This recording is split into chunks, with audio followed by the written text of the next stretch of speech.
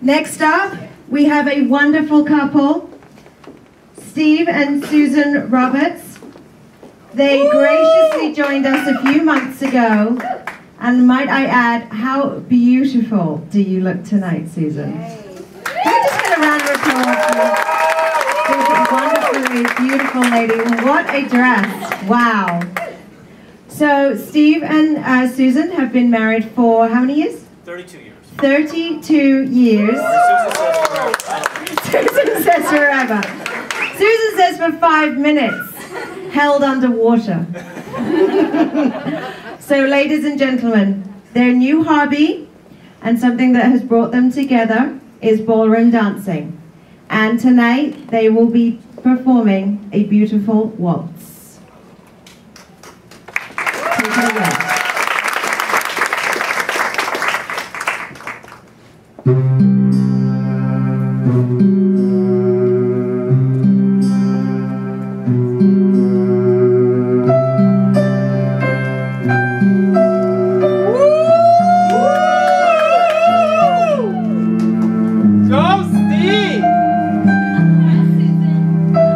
Susan!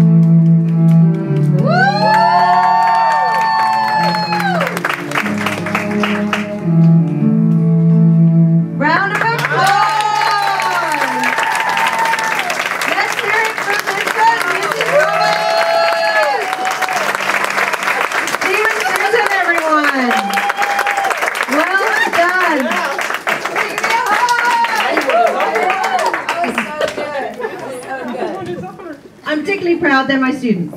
Yeah.